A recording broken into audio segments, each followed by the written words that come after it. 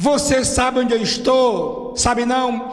Pois eu vou dizer, estou dentro do xadrez do terceiro distrito policial na cidade de Timon. Vem comigo, meu cinegrafista, que eu não posso ficar só dentro desta cela. Aqui, 11 homens estavam presos e cinco da manhã eles tentaram fugir por aqui, ó. Aqui tá molinho, ó. Vou botar o dedo, você vai ver aqui, ó. Tá mole, ó. Porque foi consertado há poucas horas.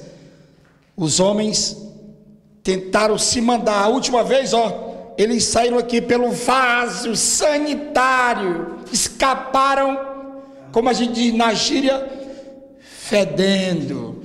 E dessa vez eles não quiseram usar o aparelho sanitário, arrebentaram a parede e já se preparavam para se mandarem. Realmente aí a polícia chegou na hora certa. Os protagonistas chegaram aí a tempo, evitaram a coisa e transferiram para eles para a regional e para a central de flagrante. 11 homens. 11 pessoas. Aqui eles tentaram com a gilete, ó. Tentaram não. Eles chegaram a cortar, iam cortar aqui, aqui, aqui mas aí a polícia também chegou a abortar. Isso aí foi com gilete? Gilete. Eles começam a cortar devagarinho. Provavelmente que seja.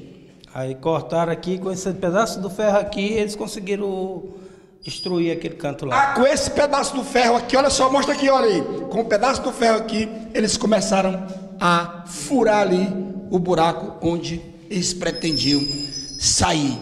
Essa tentativa de fuga de presos aqui no terceiro DP, na lente. E toma tela na TV Antena.